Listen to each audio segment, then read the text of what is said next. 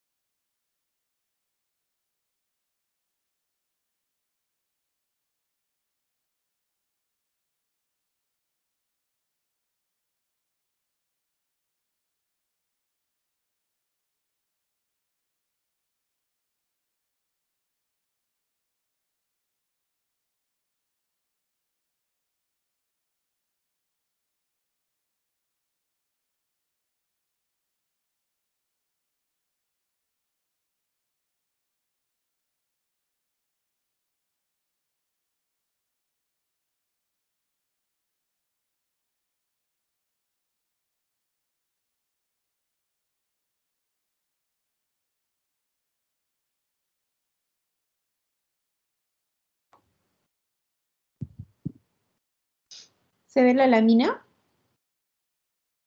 Sí, doctora, sí se observa. Ok.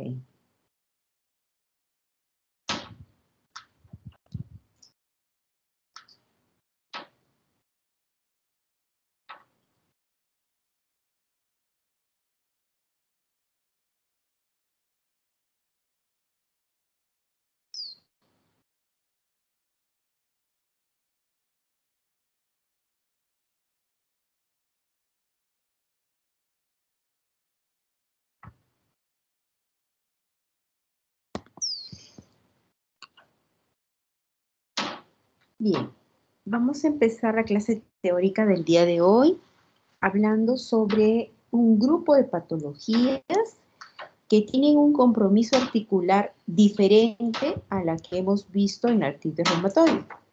Es decir, que aquí vamos a hablar más de un compromiso articular axial, como pueden ver en la lámina. El término espondiloartropatías se refiere a el grupo de enfermedades que comprometen las articulaciones, ya sean sacroiliacas, columna lumbar, columna dorsal o cervical. Cero negativas porque cuando ustedes piden los anticuerpos, que ya conocen, factor reumatoideo, eh, anticuerpos anticiclurinados, estos generalmente en este grupo de enfermedades van a estar negativos. Eh, se va marcando mucho aquí en estas patologías la diferencia con la artritis reumatoide, donde el compromiso era más de articulaciones periféricas. Entonces, tenemos características diferentes en este grupo de enfermedades.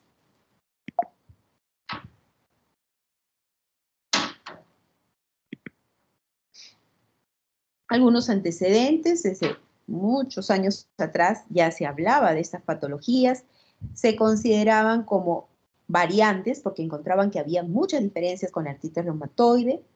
en el año 1963 ya se denominaron como espondilotopatías seronegativas y ya comenzaron a darse eh, algunas eh, entidades ya más eh, independientes como la espondilitis anquilosante, síndrome de Reiter, artritis psoriásica y así. Poco a poco se iban determinando diferentes patologías con estas características en común. Algo importante es que en estas eh, enfermedades, que son también de naturaleza inflamatoria, vamos a ver que existe una gran asociación con el antígeno de histocompatibilidad HLA-B27. Entonces, e, esta asociación es muy importante. Y, algo también característico de este grupo de patologías es de que aparte de la inflamación en las articulaciones, eh, también puede haber eh, compromiso de entesitis, que viene a ser la inflamación donde se inserta el tendón, y una asociación familiar en relación al HLA-B27. Algo típico que ya mencionamos, las pruebas factor reumatoide y anticuerpos anticitrulinados negativos.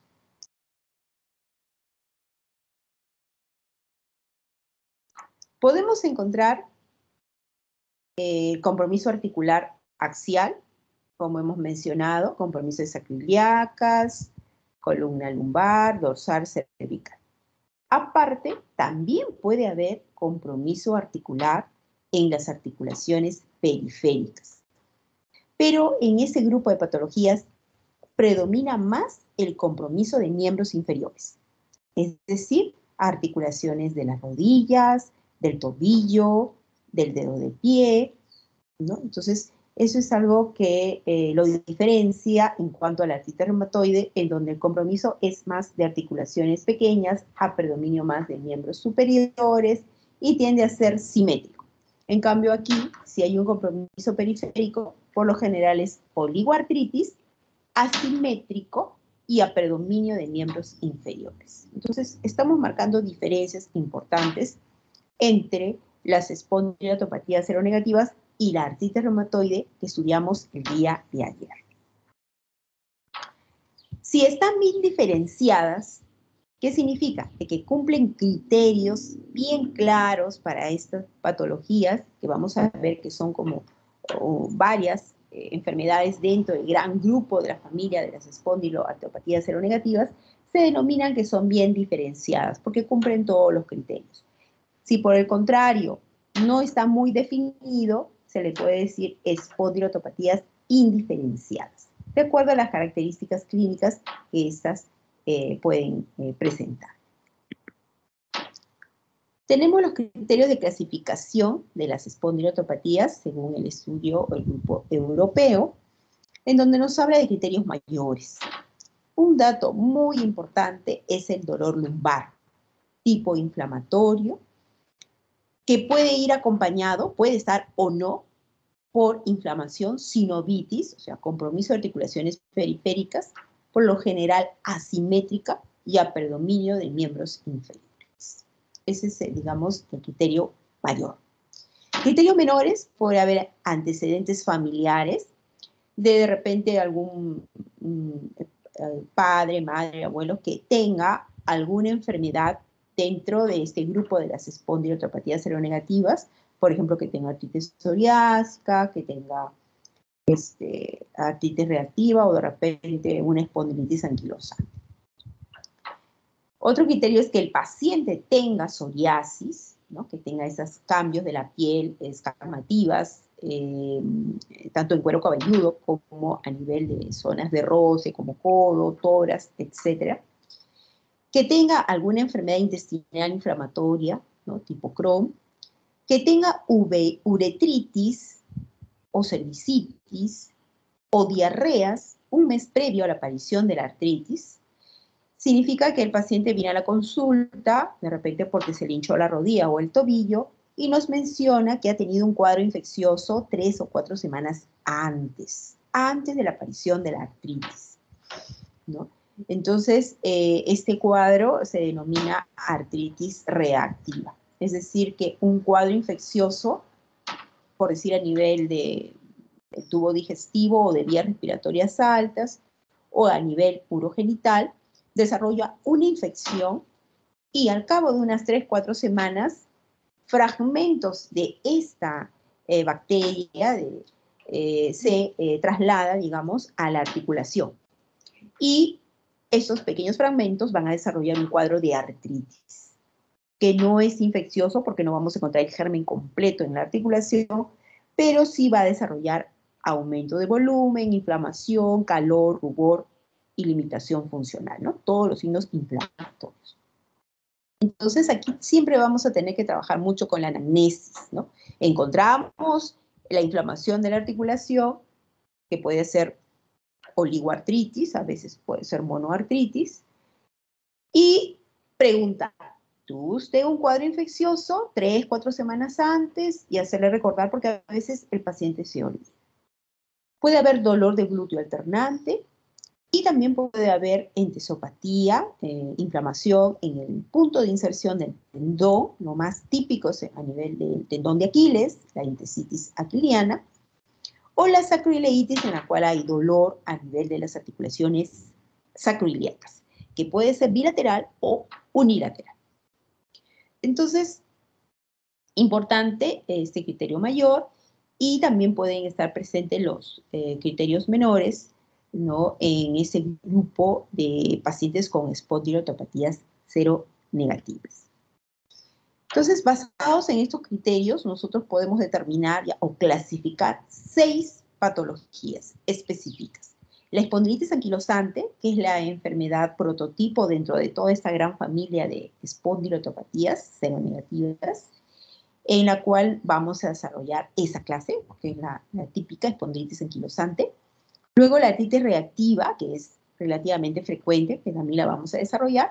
Y las demás solo las vamos a mencionar, que es la artritis psoriásica, la artritis enteropática, la espondiloartritis juvenil y la espondiloartritis indiferencial, aquella que no cumple criterios de ninguna de las otras patologías que hemos mencionado, pero que tiene una de una o sea, un, síntoma, un signo de una o de otra.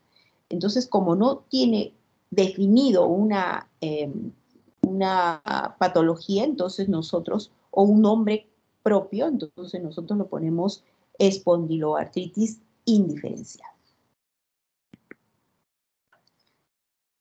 De epidemiología, la prevalencia, no se olviden, una gran asociación con HLA-B27. Esta patología es más frecuente en varones que en mujeres, ¿no? Casi todas las demás que hemos visto, artritis reumatoide, lupus eritematoso sistémico, la esclerosis sistémica progresiva, son más frecuentes en mujeres. En cambio, las espondiotopatías seronegativas la vemos con mayor frecuencia en varones. Podemos tenerlas en mujeres, raro, pero es más típica en varones es de etiología desconocida. Muchos factores genéticos y ambientales están relacionados con este grupo de, patologías. El B27, va a pasar esto que es. Factores ambientales, más en varones, sobre todo en edad reproductiva. Los criterios de dolor axial es algo que siempre tenemos que preguntar, ¿no? Sobre el dolor axial tipo inflamatorio que presentan estos pacientes, que puede ser el dolor a nivel de las articulaciones sacroiliacas o de la columna lumbar, dorsal o cervical.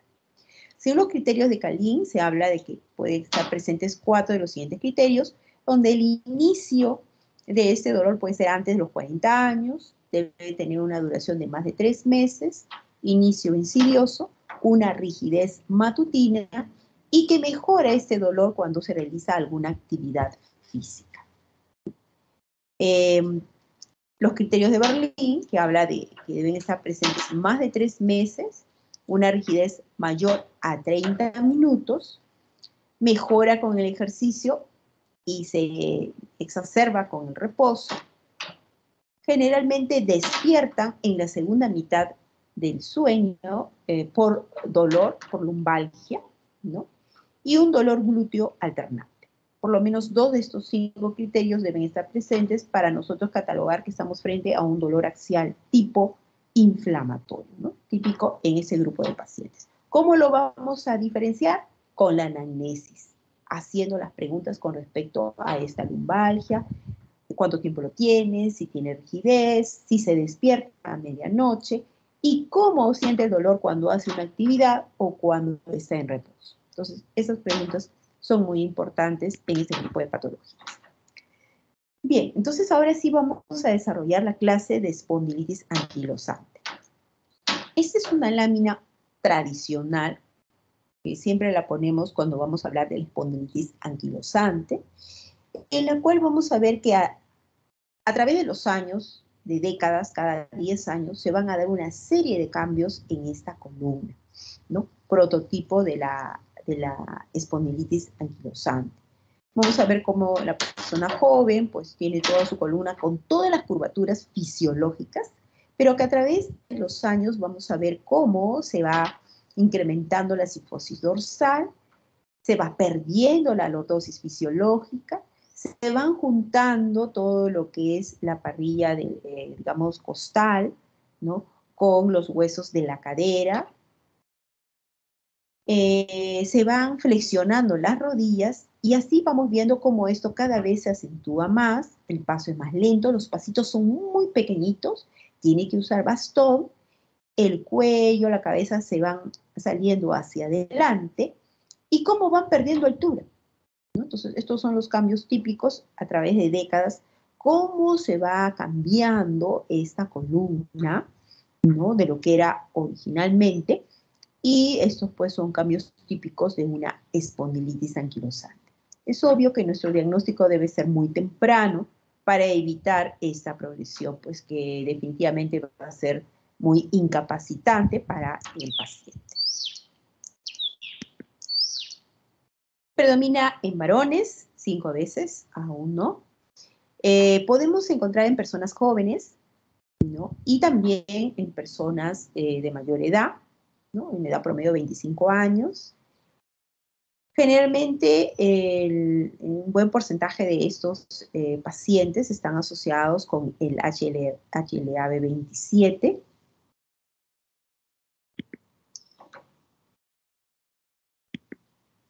vamos a encontrar la inflamación, la intestitis, que es algo muy típico, que viene a ser la inflamación en el punto de inserción del tendón. Y conforme esto se va em, inflamando en forma repetitiva, puede inclusive haber una erosión.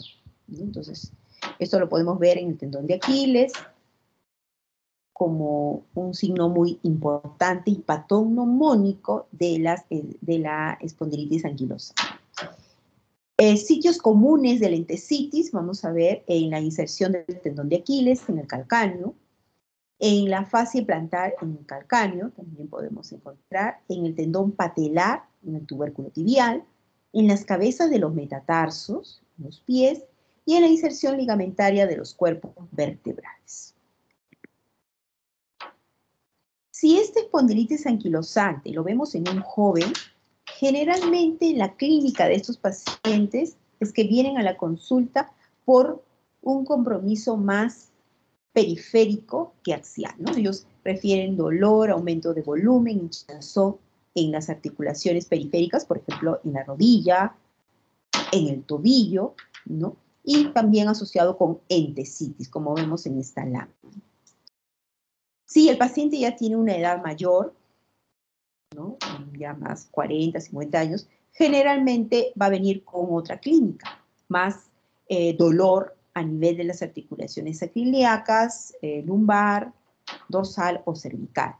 Y también puede haber compromiso axial, perdón, compromiso articular con una u otra articulación, eh, como rodilla o tobillo, pero va a predominar el compromiso a nivel de la columna axial en los pacientes de mayor edad.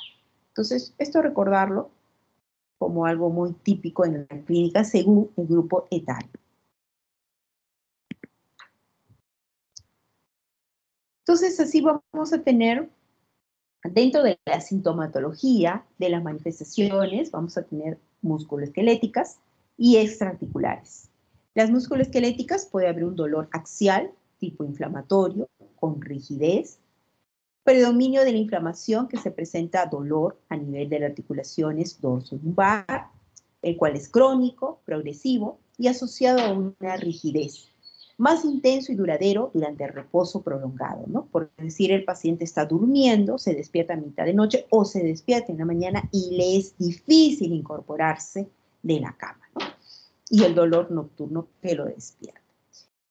La reducción de la movilidad de esta columna, así como veíamos en la primera lámina, cada 10 años va disminuyendo. Por eso que vemos un paciente ya con un menor tamaño y con ayuda de un paso. Cervicalgia y lumbalgia son comunes en esta población, generalmente de causas mecánicas. A veces eh, confundimos cuando el paciente viene por lumbalgia o cervicalgia, que a veces es un dolor tipo eh, digamos, eh, por el trabajo, ¿no? Porque realiza actividades, carga peso, etcétera, y lo tomamos un poco a la ligera o mala postura, ¿no? pero eh, tratar siempre de buscar alguna de estas enfermedades porque a veces podemos hacer un manejo inadecuado. ¿no?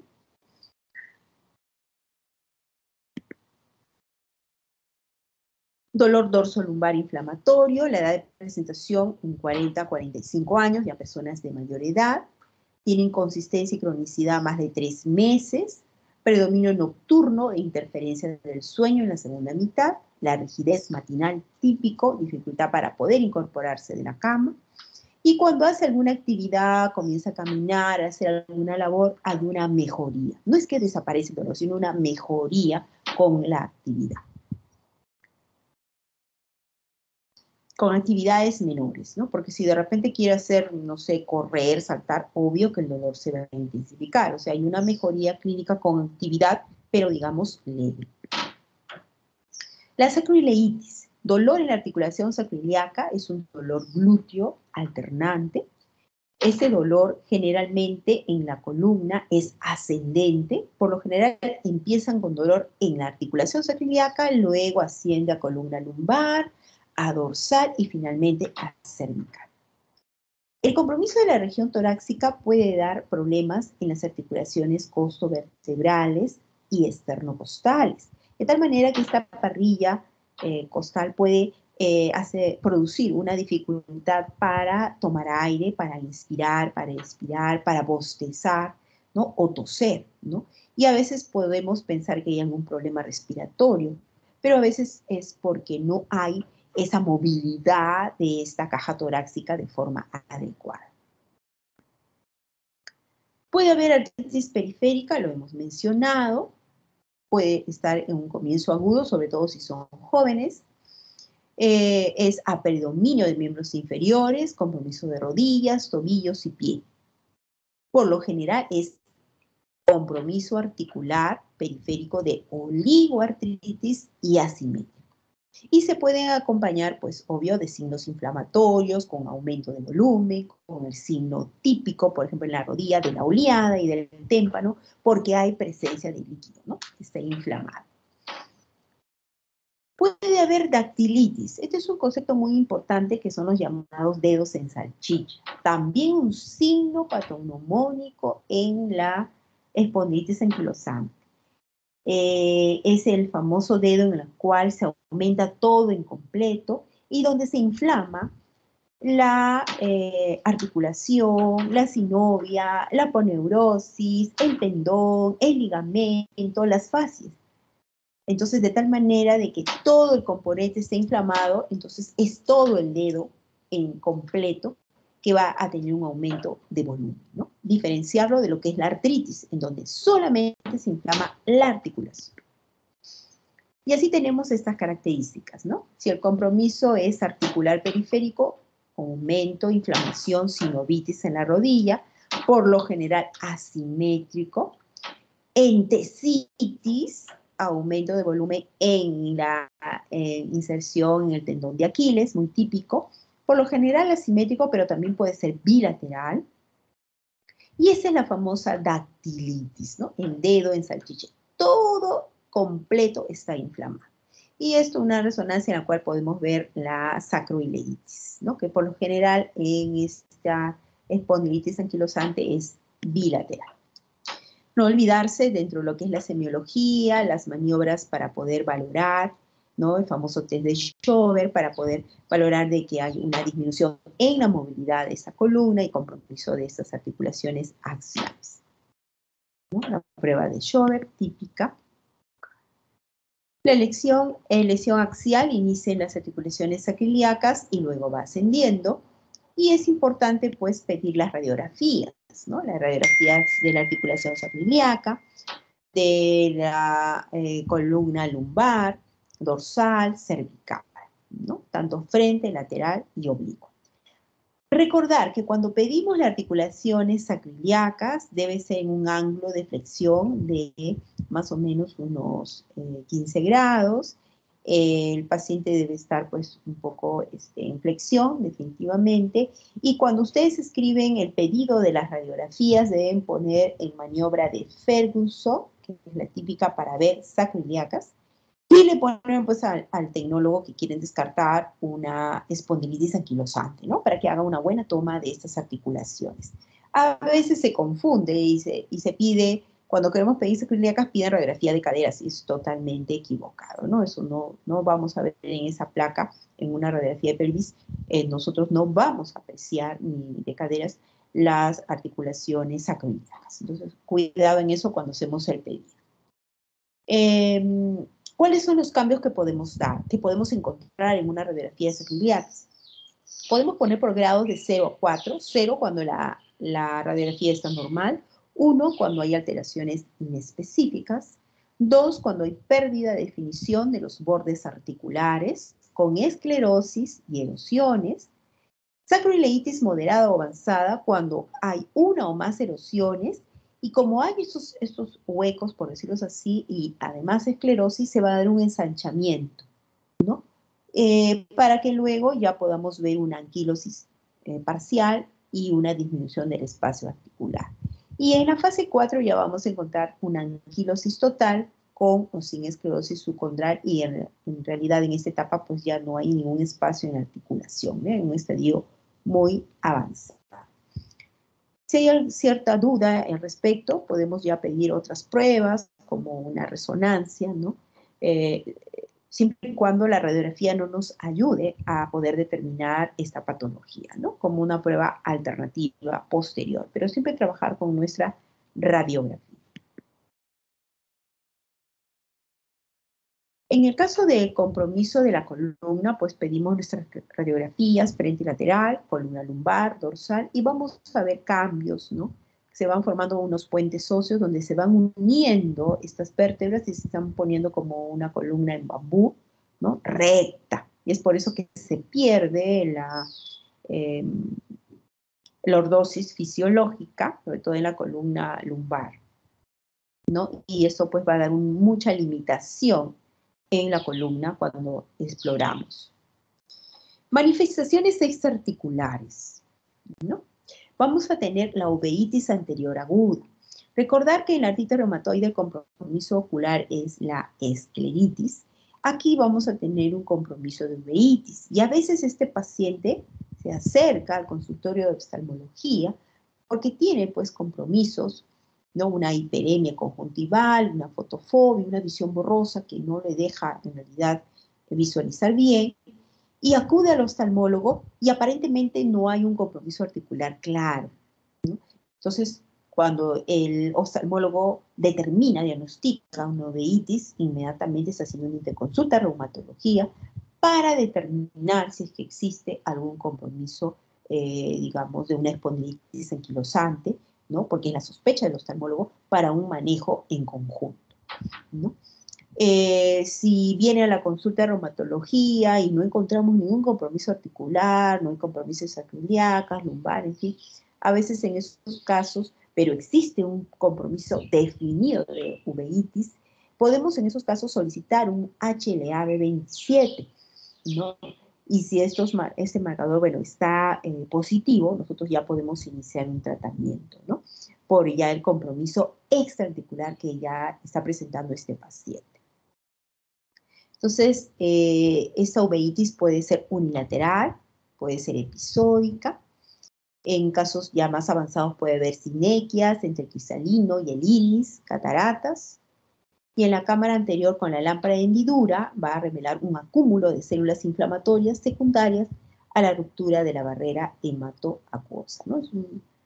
una, o ah, también recordar que puede ser al revés, ¿no? que el paciente ya tenga un compromiso articular periférico, axial, y eh, podemos nosotros hacer una interconsulta a oftalmología si sospechamos que ese paciente pueda tener una. ¿no? Entonces, tenerlo presente como una manifestación, una manifestación extraarticular eh, importante en ese grupo de patologías. Otras manifestaciones eh, cardiovasculares puede haber aortitis basal y valvular a nivel del corazón, renal es raro, puede haber amiloidosis secundaria, como veíamos en la tita reumatoide, luego de muchos años de tiempo de enfermedad. Puede haber proteinuria progresiva y disminución de la filtración glomerular. A nivel pulmonar puede haber neumopatías restrictivas, puesto que hay una disminución de la expansión de la, de la caja torácica, ¿no? Por el compromiso costo external y costo vertebral. Neurológico puede haber traumatismos sobre la columna, como consecuencia de una progresión de la luxación atlantozoidea y mielopatía secundaria, ¿no? Que sería muy grave a nivel sobre todo cervical. Estar atentos, ¿no? Si hay dolor en este nivel. Compromiso gastrointestinal, hasta un 60% de estos pacientes pueden desarrollar inflamación intestinal asintomática y puede haber una región, a nivel de la región distal del ilio y proximal del colon, también un compromiso. En el laboratorio, esto más decirlo, ya lo mencionamos, eh, los anticuerpos anticitrulinados y el factor reumatoideo son negativos. Y eh, los marcadores de inflamación, como la velocidad de cementación y la proteína C reactiva, sí pueden estar acelerados en valores altos. Y van a correlacionar mucho con la actividad de la enfermedad. Cuando hay más dolor, más inflamación, estos eh, marcadores inflamatorios van a estar elevados.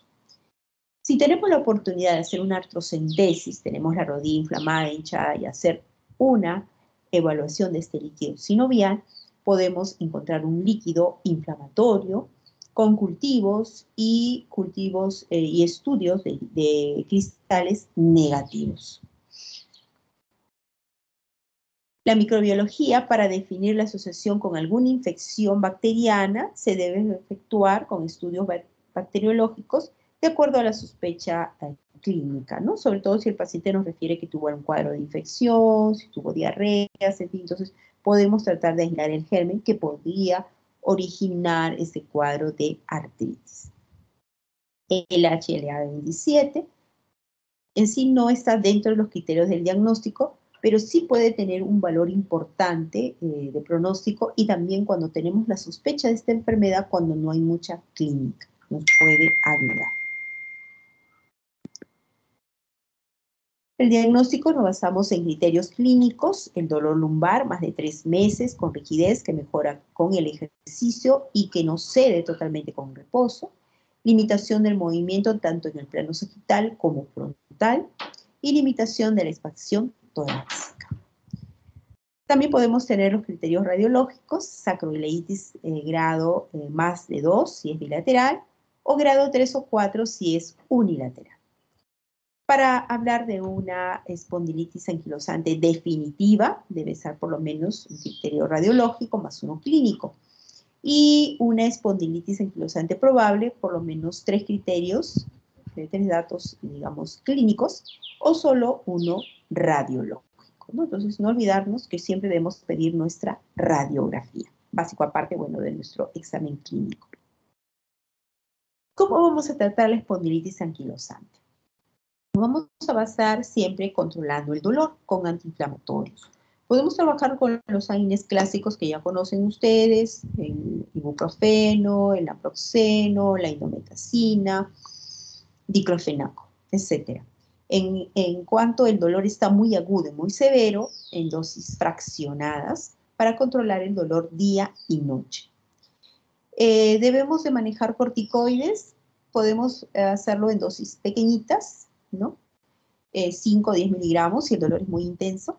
Pero si tenemos nosotros la presencia, por ejemplo, de una rodilla inflamada, hinchada o un tobillo, podemos hacer infiltración, poner corticoides interarticular previa artrocentesis, es decir, un estudio de líquido sinovial me sale negativo, cultivo negativo, no hay gérmenes, entonces yo ya puedo aplicar un corticoide intralocal, eso se llama infiltración, un corticoide de depósito tipo triancinolona, y con ello controlar y bajar la inflamación de la articulación. ¿Cuántas veces puedo infectar esa articulación? Eh, un máximo de tres veces, encontrando en cada una de ellas una mejoría, ¿no? Porque si hago una infectación y no hay ninguna mejoría, ¿para qué poner dos, tres veces? Porque al fin y cuenta este es un procedimiento traumático, invasivo. Entonces eh, debemos hacerlo siempre y cuando obtenemos resultados de bajar la inflamación, el dolor en la articulación afectada. En cuanto a los fármacos eh, de acción lenta, que ya ustedes eh, saben que hemos trabajado en el caso del artritis reumatoide, pues aquí también podemos trabajar. Y el fármaco de elección, modificador de la enfermedad, en ese grupo de patologías es la sulfasalacina. Es un fármaco que utilizamos mucho, viene de 500 miligramos y podemos ir dándole un promedio de un gramo a dos gramos. Eh, sabemos que es gastrolesivo, entonces podemos agregarle nosotros omeprazol para mejorar las molestias digestivas. Podemos dividir dosis, si viene cada tableta de 500 miligramos, podemos dar un gramo cada 12 horas, ¿no? Para ir controlando este, este cuadro inflamatorio importante ¿no? que presentan estos pacientes, tanto para el compromiso axial, en columna y articular, periférico. Em, si con la sulfasalacina no es suficiente controlar o tiene mucha reacción adversa, podemos trabajar con el metotexate como segunda opción o luego la leflunomida, ¿no? pero de elección recordar la sulfasalacina. Promedio, unos seis meses damos estos fármacos y si no hay una buena respuesta con estos eh, tratamientos, digamos, convencionales, nosotros ya podemos ir pensando en la terapia biológica, ¿no? Los bloqueadores, los anti-TNF, que podemos trabajar eh, dándole a este grupo de pacientes eh, generalmente siempre cuando damos estos fármacos eh, lo damos junto con el metotexate, no olvidarnos, ¿no? Entonces ahí retiraríamos la sulfasalacina, agregamos el metotexate y un anti-TNF para ir controlando el dolor y la inflamación que se provoca en este grupo de, patologías, ¿no? Eh, todo esto debe estar siempre acompañado de lo que viene a ser la fisioterapia. Nunca olvidarnos porque hay que mejorar esa movilidad de la columna que está muy venida menos. Y también cuando hay procesos de entesitis, por ejemplo, aquilianas, la marcha no es normal, ¿no? A veces caminan en puntas. Entonces, eh, debemos de mejorarlo con la rehabilitación. Algo muy importante es el manejo con la hidroterapia en el tanque de agua en el cual nosotros mejoramos mucho la movilidad articular en ese grupo de pacientes.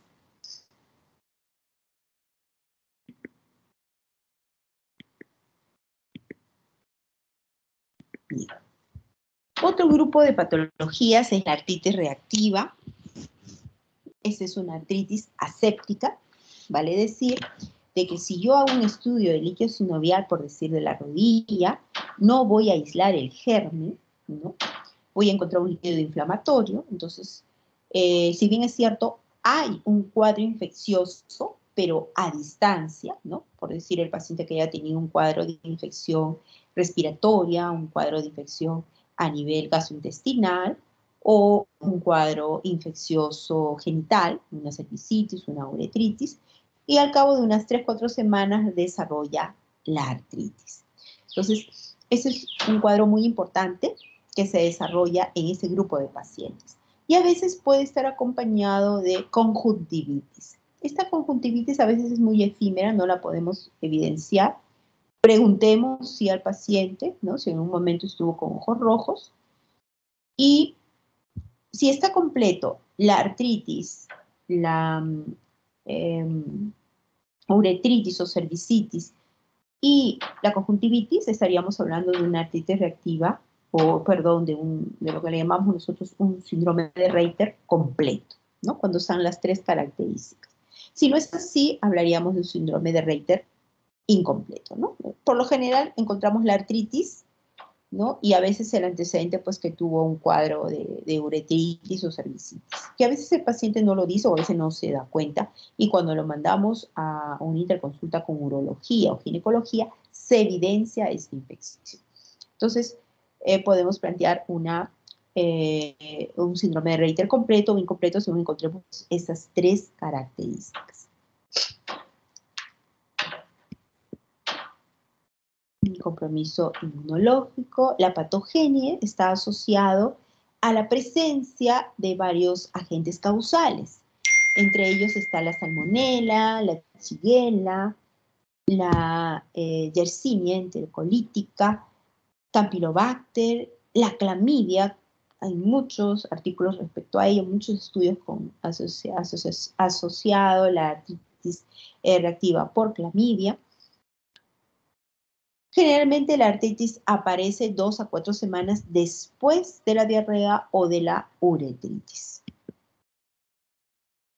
Este cuadro clínico tiende a ser, por lo general, eh, por episodios, es decir, eh, el paciente, por decir, eh, tiene un cuadro de uretritis, luego de tres semanas desarrolla la artritis, ¿no? recibe un tratamiento eh, y luego esto termina, es como si ya se hubiera curado, termina el cuadro clínico.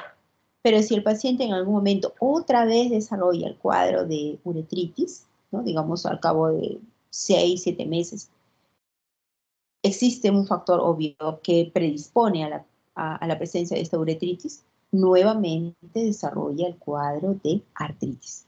Entonces, este cuadro clínico tiende a ser más por episodios.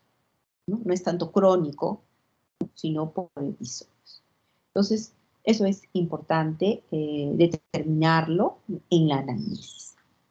La uretritis puede ser asintomática y manifestarse solamente como una piuria aséptica. En el hombre habitualmente se encuentra disuria, secreción uretral e incluso epidemitis o prostatitis. Entonces, eh, a veces también el paciente no lo refiere por vergüenza, etc. Entonces nosotros a veces tenemos que ganarnos la confianza y luego hacer preguntas hasta que nos pueda mencionar, ¿no? Mediante la análisis esos datos. O de lo contrario, como les decía, mi interconsulta urología, donde pueden ellos determinar, inclusive con cultivos, aislar el germen causante. Los síntomas constitucionales comunes puede estar asociado en ese grupo de patologías como la fiebre, fatiga, baja de peso o malestar general. El compromiso articular, en este grupo, eh, lo más frecuente es un compromiso articular periférico del tipo de oligoartritis, ¿no? asimétrico, característico, con eh, dolor, eh, aumento de volumen, enrojecimiento, y obvio la sinovitis, inflamación que vamos a encontrar. ¿En qué articulaciones? En rodillas, en tobillos, en dedos del pie. ¿Podemos encontrar dactilitis? Sí, es el grupo de patologías. Dactilitis, compromiso de dedos del pie, por lo menos lo más frecuente, con artritis, tenosinovitis, periotitis simultánea. ¿Pueden cursar con un compromiso axial? Sí, un 50%, en menor grado puede haber un compromiso de dolor lumbar, como compromiso axial, y un 75% de esos pacientes eh, van a presentar recurrencias episódicas, ¿no? Por eso no son cuadros crónicos, sino por episodios que se van dando, ¿no? A diferencia de la artritis reumatoide donde el cuadro era, pues, ¿no? Digamos, constante, continuo. Acá se va a dar por episodios según cómo se expongan al cuadro infeccioso causante de esta patología. ¿Puede algún paciente con artritis reactiva eh, desarrollar posteriormente una espondilitis anquilosante? Sí, puede también comprometer las articulaciones acrílicas, pero en menor grado, en un 10%. Clínicamente podemos encontrar entonces la inflamación en el tendón de Aquiles, puede haber endesitis, puede haber dactilitis y obvio artritis, ¿no? Artritis generalmente oligoartritis eh, asimétrica y a predominio de miembros inferiores. ¿Puede tener este grupo de, patologías manifestaciones extraarticulares? Sí, son principalmente oculares, puede haber conjuntivitis, uveitis, mucocutáneas, puede haber úlceras orales, queratodermia blenorrágica, balinitis cercinada y onicolisis, ¿no? Cambios en las uñas. En forma frecuente están descritas también la aortitis, el bloqueo auriculoventricular, amiloidosis, nefropatía por inmunoglobulina A, neuropatías periféricas, encefalopatías y mielitis transversa. Compromiso genital importante, cambios en las uñas, Y en el laboratorio, ¿qué vamos a encontrar? Elevación, sobre todo cuando hay inflamación, elevación de los leucocitos, leucocitosis, trombocitosis, elevación de los reactantes de fase aguda, velocidad de segmentación, proteína C reactiva. El HLA-B27 puede estar positivo hasta un 80%, no como el espondilitis anquilosante, donde en mayor cantidad vamos a encontrar esta, esta asociación, aquí en menor porcentaje. Y no olvidarse, pues, que si yo pido el factor reumatoideo o eh, los anticuerpos anticitroninados, generalmente estos van a estar negativos. Si podemos hacer un estudio líquido sinovial, podemos hacer, sí, una artrocentesis, por si la rodilla está hinchada, y generalmente el líquido es inflamatorio. Podemos hacer cultivos de secreción uretral, eh, del cervicitis, coprocultivos o algún un, cultivo a nivel de vías respiratorias altas, si detectamos que estos son los cuadros infecciosos probables causantes de este desarrollo de artritis, podemos hacer y en realidad sería lo ideal porque así podemos nosotros ya evitar nuevos episodios, ¿no? Si yo determino, aíslo el germen causante. Podemos pedir serologías para los gérmenes más frecuentes que nosotros sabemos que pueden estar asociadas a estas artritis reactivas, sí. Serología para Yersinia, para clamidia, para Campylobacter, para técnicas de ampliación del DNA, para clamidia, ¿no? Pueden ser muy útiles para aislar el germen causal. Podemos pedir una radiografía, sí, podemos encontrar pues la endosopatía calcánea, la seculitis unilateral, en algunos casos, para poder determinar la endesitis también puedo solicitar eh, una ecografía, Ya si estas pruebas, ya la radiografía o la ecografía no me ayuda, entonces ya puedo solicitar una resonancia. ¿Cómo voy a tratar la artritis reactiva? Pues voy a trabajar con antiinflamatorios, la indometacina es uno de ellos. Eh, eh, podemos también trabajar con con diclofenaco, con ibuprofeno, con el natroxeno, etc. Eh, corticoides, podemos también manejarlos eh, a dosis pequeñas, 5 o 10 miligramos vía oral. Y también podemos trabajar acá las infiltraciones intraarticular, ¿no? Con la triancinolona, con este fármaco eh, corticoide de depósito, previa cultivo de la secreción de la articulación afectada. Eh, también podemos trabajar una o dos hasta tres veces la infiltración. ¿Podemos trabajar con fármacos modificadores de la enfermedad? Sí, podemos tratar con la sulfasalacina, también es el fármaco de elección, metotrexate si no hay una buena respuesta con este, o azathioprina. Eh, como son episódicos, entonces podemos trabajarlo, podemos dar el tratamiento por tiempos hasta que desaparezca el cuadro infeccioso y no olvidarnos de dar el antibiótico una vez determinado, aislado el germen causal. Así vamos a evitar posteriores episodios de artritis. Entonces, eso es muy importante, aislar ¿no? el germen causal y también el medio ambiente, ¿no? Porque por ejemplo a veces esto lo podemos ver en soldados que viven hacinados, ¿no? Entonces ahí se desarrolla este cuadro de artritis, ¿no? Entonces tratar de que estas personas no vivan juntas, sacarlo de, ese ambiente, ¿no? Para evitar pues eh, continuos episodios de artritis reactiva.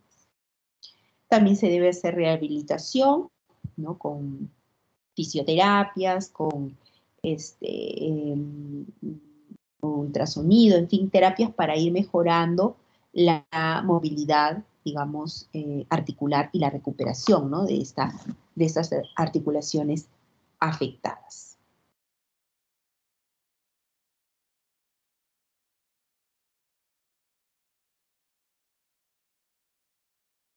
Bien. Entonces, hemos terminado esta clase de las espondilotopatías seronectivas. Eh, yo quisiera hacer... ¿Alguna pregunta tienen ustedes?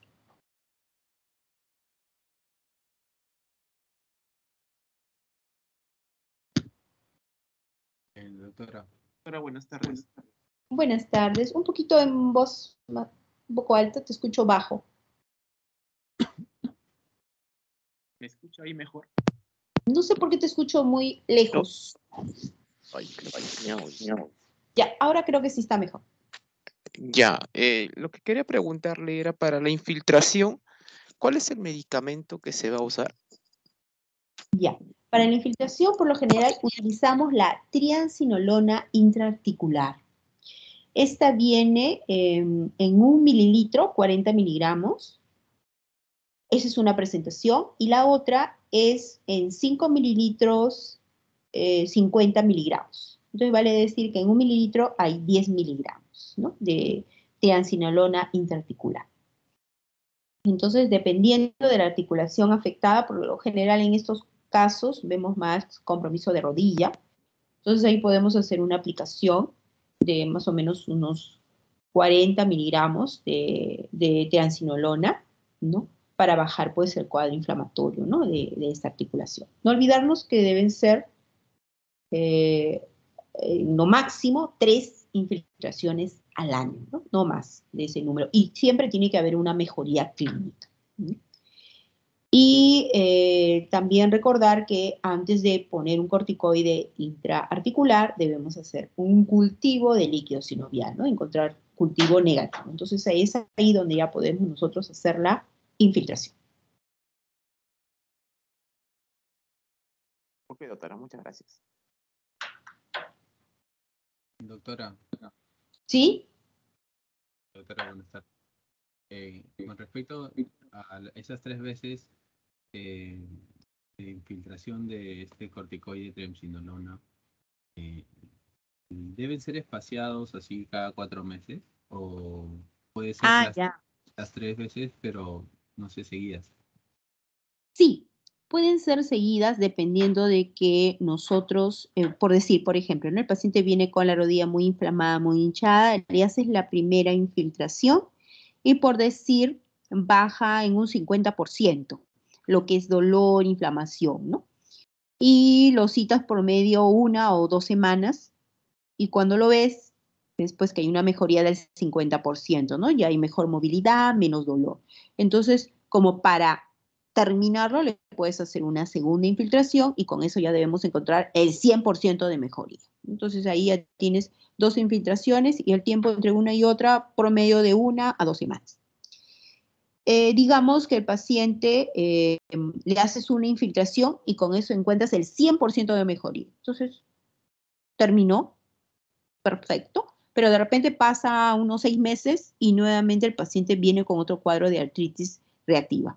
Entonces ahí puedes hacer una segunda infiltración. Entonces, dependiendo de la presentación de la artritis, puedes hacerla en una o dos semanas o de lo contrario, una después de seis meses o de repente una por año, ¿no? Dependiendo de la, de la ah, presentación clínica y de la mejoría clínica que debe haber posterior a la infiltración.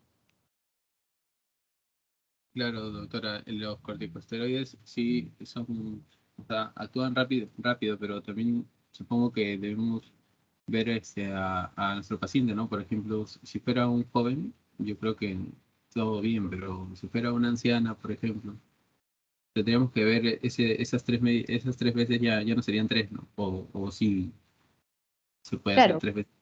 Si no hay mejoría clínica, digamos, perdón, digamos de que tu persona de la tercera edad que tú estás poniendo de ejemplo, este, tiene artrosis, ¿no? tiene una artritis reactiva, pero de A de base tiene una artrosis, una rodilla eh, que tiene cambios ya crónicos, tiene osteofitos, disminución del espacio, probablemente no encontremos una respuesta clínica rápida. Entonces, de repente, tengamos que hacer dos o tres infiltraciones para mejorarlo totalmente, ¿no? Sí, puede, puede ser el caso, sí, ¿no? Ah, ya, ya, entonces sí se puede. Sí, se puede. Por ejemplo, en casos extremos, eh, haces una primera infiltración y una mejoría, de, por decir, del 50%. A la semana los citas y le haces una segunda infiltración y hay una mejoría del 80%. Los citas a la tercera semana, ¿no? Y, todavía queda un 20% de, de, inflamación. ¿no? Entonces, podrías hacer una tercera infiltración, pero sabes que ya va a ser la última en ese año, ¿no? Y ahí termina todo. Ahora, paralelo a esto, nosotros ya tenemos que ir este, también pues dándole vía oral su antiinflamatorio, ¿no? ¿no? Y si vemos que se tiende a hacer un poco muy repetitivo esos cuadros, entonces ya tenemos que estar agregando un fármaco modificador de la enfermedad, ¿no? Tipo sulfasalacina, ¿no? Entonces, esto también va a evitar de que se den procesos repetitivos y también va a ayudar a bajar la inflamación. Pero recordar que aquí está muy asociado a un germen causal, entonces hay que determinar ese germen causal para evitar un nuevo episodio. Entonces, el tratamiento también tiene que abarcar eso.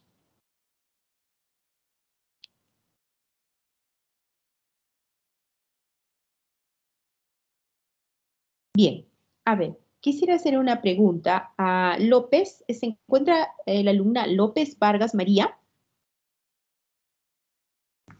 Sí, doctora, buenas noches. Buenas noches.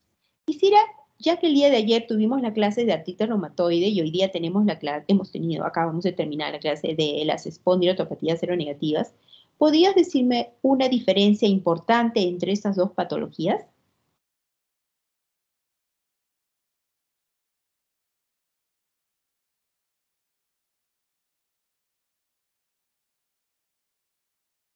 ¿Aló? Eh, sí, doctora, le escucho.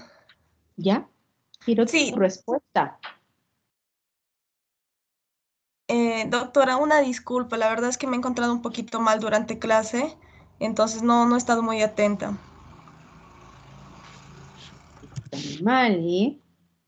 En realidad, lo que la doctora Palomino nos ha pedido a los profesores es que ustedes hagan la clase no nosotros. Es, es lo que ella quiere, que ustedes hagan la clase. Pero yo a veces me pongo a pensar, ¿cómo van a hacer ellos la clase si no tienen la experiencia, no están viendo al paciente? Y muy pocos leen. Entonces yo digo, bueno, mejor les hago la clase y luego les pregunto, ¿no? Pero se supone que si ya los profesores hemos puesto nuestras clases en el team es para que ustedes ya saben, les decimos tal día tienen tal clase, pues aunque sea le doy una leidita para tener una base de lo que me van a dictar, ¿no? Para, para reforzarlo. Entonces, ya, y por último, si no hago eso, pues estoy atenta en mi clase para que luego cuando me hagan mis preguntas las pueda responder, porque lo que estoy preguntando es lo que al inicio yo comencé a hacer las diferencias, ¿no? Entonces, realmente me da bastante pena que, que esto suceda, ¿no? A ver, García Guaringa, Gustavo Manuel. Sí, doctora. ¿Me podrías dar una diferencia entre la artritis reumatoide y la eh, espondilotopatía seronegativa? bueno, la espondilopatía eh, seroreactiva es la EA, ¿no? Eh, esta posiblemente sea causada por un, bueno, sea reforzada, ¿no? Por un, por un, un agente infeccioso. Y la artritis reumatoide puede ser primaria, ¿no? Puede ser por eh, factores propios de, de la inmunidad, ¿no? Autoinmunitaria. Puede ser una diferencia. Bueno, pero en cuanto a las características clínicas,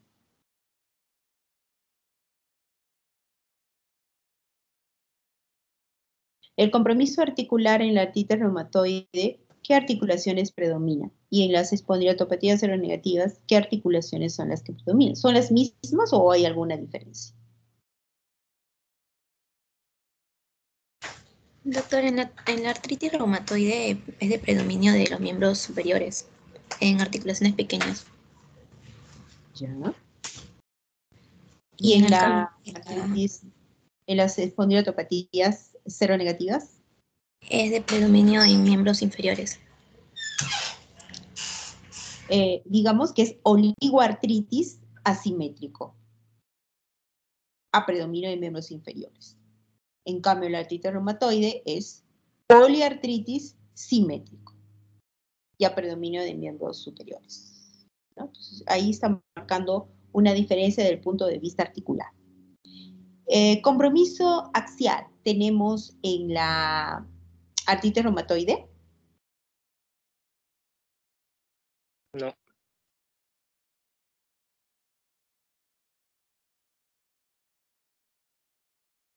En la espondilotopatía seronegativa.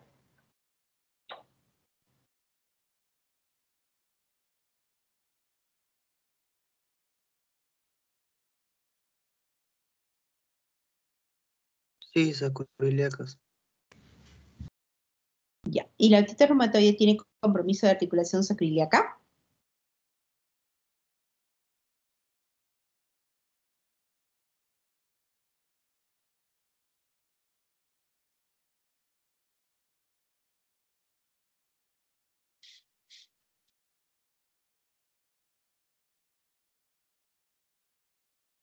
Manco, Manco Francesca, Mm, Sí, doctora, buenas tardes. ¿me puedes dar una diferencia entre la artritis reumatoide y la espondilotopatía seronegativa? Mm, Podría ser que, como su nombre lo dice, este, en los anticuerpos no va a salir, ¿no? por ejemplo, el factor reumatoideo. En cambio, en la artritis reumatoide sí. Ya, esa es una diferencia basal, básica. ¿no? Artritis reumatoide, factor reumatoide anti-CCP, positivos. Espondilotopatías negativas, anticuerpos negativos. Sí, así de fácil, no es nada difícil. Compromiso articular en artritis reumatoide es poliartritis simétrico. En las espondilotopatías seronegativas es oligoartritis asimétrico. ¿no? Compromiso, digamos, extraarticular. En la artritis reumatoide eh, podemos eh, mencionar desde el punto de vista oftalmológico la lesión clásica, la escleritis. En cambio, en las espondilitis, eh, este, en las espondilitopatías seronegativas, realmente es uveitis. ¿no? Y así pueden ir haciendo varias diferencias. Esos son los llamados mapas conceptuales que la doctora Palomino le gusta mucho que, que realicen. Y la verdad que si lo harían, pues tendrían los conceptos mucho más claros. ¿no? O sea, reciben una clase, reciben una teoría y luego ven las diferencias que hay entre una y otra. Y eso va a ayudar a ustedes ese ejercicio para que quede bien claro la, la clase, ¿no? La, la- la teoría. Entonces, eso es este, importante que, que ustedes recuerden, ¿no? Algo importante en las espondilotopatías seronegativas, signos patognomónicos, la dactilitis y la entesitis, que eso no se ve en artritis reumatoide, ¿no? Entonces, eso también tenerlo bien, bien claro.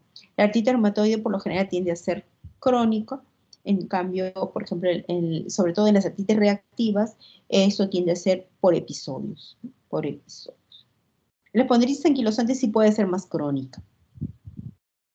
Raro que una artritis reumatoide tenga compromiso de articulación sacroiliaca, ¿no? Muy, muy este, difícil.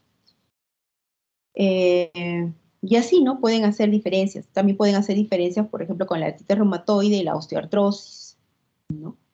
Eh. Eh, viendo ¿no? el compromiso, generalmente en las osteoartrosis en manos, el compromiso es más en las interfalángicas distales y en las interfalángicas proximales. En cambio, en la artritis reumatoide, más el compromiso es carpos, metacarpos falángicas, interfalángicas proximales. El signo patognomónico de la osteoartrosis son los nódulos, nódulos de Bouchard en las interfalángicas proximales y los nódulos de Hebert en las distales. En cambio, signos patognomónicos en la artritis reumatoide pueden ustedes encontrar los famosos este, sinovitis, inflamación, eh, los llamados eh, eh, dedos en cuello de cisne, los dedos en Z, la desviación cubital. ¿no? Entonces, así pueden ustedes ir haciendo las comparaciones entre uno y otro. ¿no? Artritis reumatoide y lupus eritematoso sistémico. Y así van desarrollando las clases y las van comparando en qué se parece, según la edad, según la frecuencia, según el sexo, ¿no? Artritis reumatoide más en mujeres. Las espondilotopatías alternativas más lo ven en varones. Y así pueden ir haciendo el ejercicio. Pero por favor, chicos, lean, estudien, porque al final lo que queremos es que ustedes pues estén preparados para el internado, ¿no? En el internado van a ver de todo, de todo, todo lo que han estudiado. Entonces, tengan cuidado con ello y además eh, tenemos pues esta educación virtual, ¿no? que nos ha traído un poquito a ser más teóricos que prácticos. Entonces, todo esto hay que superarlo. Bien, entonces vamos a desarrollar la siguiente clase, eh, que es la artritis reumatoide juvenil. Eh, ese es un grupo de patologías em, que eh, vamos a verlo en niños que van pues de, de, un año o de meses, también hay mesecitos, hasta los 16 años, ¿no? hasta esa edad. Entonces vamos a encontrar pues artritis, dolor, inflamación, aumento de volumen de las articulaciones y esto va a dar como consiguiente pues ah, los signos inflamatorios que ya conocen, aumento de temperatura, limitación funcional, dolor, impotencia, ¿no? Y algo típico en ese grupo de niños es que ellos no van a decir pues me duele, ¿no? Sino por lo general dejan de jugar. No es un niñito que está sentadito en un lado, aislado, no juega, no salta.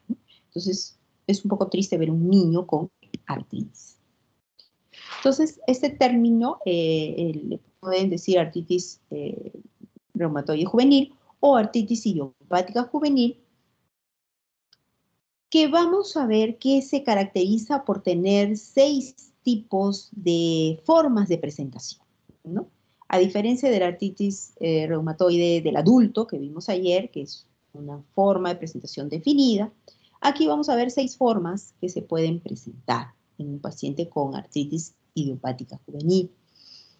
Eh, es de causa desconocida, deben estar por lo menos seis semanas de instalación, de evolución de los síntomas, ¿no?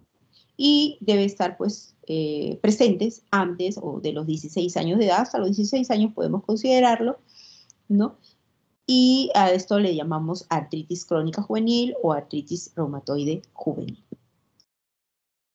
Generalmente es más frecuente en niñas, ¿no? comienza en promedio entre 1 a 3 años, eh, tiene una incidencia de 10 a 20 casos por 100.000 niños, obvio que esto lo vamos a ver con mayor frecuencia en el Instituto Nacional, porque hay van referidos a este grupo de pacientes. Pero vamos a ver diferentes formas de presentación de artritis. Según los criterios de clasificación eh, del hilar, vamos a encontrar eh, que eh, podemos tener seis formas de presentación.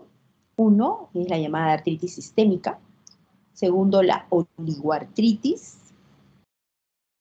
La poliartritis, factor reumatoide positivo, esta es muy parecida a la artritis reumatoide del adulto, la poliartritis factor reumatoide negativo, la artritis psoriásica, la artritis relacionada con entesitis y la artritis indiferenciada. Entonces, en el niño podemos ver diferentes formas de presentación.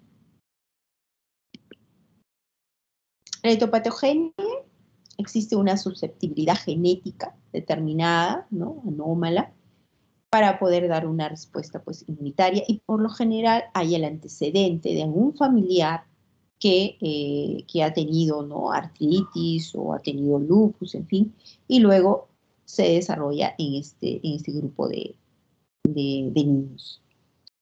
Eh, si estamos frente a una artritis reumatoide parecida a la del adulto, aquella que tiene poliartritis y factor reumatoide positivo, pues va a estar más asociado al antígeno de histocompatibilidad de R4, ¿no? como la vimos en el adulto. Pero si es aquel niño que tiene artritis más entesitis, generalmente va a estar asociado al HLA-B27. ¿Cuál es la forma de presentación de estas seis que hemos determinado, la que vamos a ver más en niños? ¿Cuál es la forma de presentación más frecuente? La más típica y que no debemos de olvidar.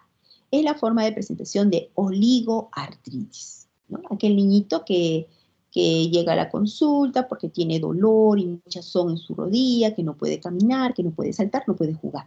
El compromiso de una rodillita, de un tobillito. ¿No? Esa es la forma de presentación más frecuente.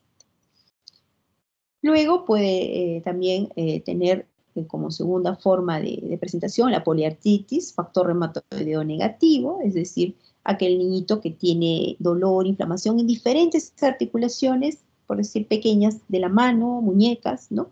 Y le solicitamos este factor reumatoideo anti-CCP y sale negativo.